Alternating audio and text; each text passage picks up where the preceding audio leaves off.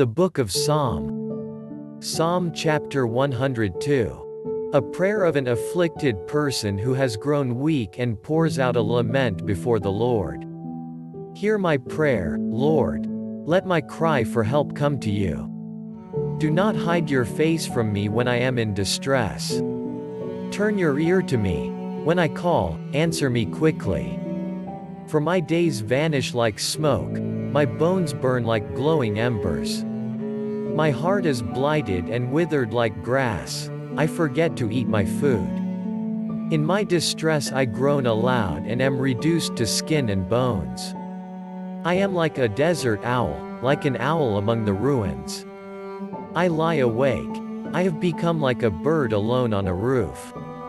All day long my enemies taunt me, those who rail against me use my name as a curse. For I eat ashes as my food and mingle my drink with tears. Because of your great wrath, for you have taken me up and thrown me aside. My days are like the evening shadow, I wither away like grass. But you, Lord, sit enthroned forever. Your renown endures through all generations. You will arise and have compassion on Zion, for it is time to show favor to her, the appointed time has come. For her stones are dear to your servants, her very dust moves them to pity. The nations will fear the name of the Lord, all the kings of the earth will revere your glory. For the Lord will rebuild Zion and appear in his glory. He will respond to the prayer of the destitute, he will not despise their plea. Let this be written for a future generation, that a people not yet created may praise the Lord. The Lord looked down from his sanctuary on high, from heaven he viewed the earth. To hear the groans of the prisoners and release those condemned to death. So the name of the Lord will be declared in Zion and his praise in Jerusalem. When the peoples and the kingdoms assemble to worship the Lord.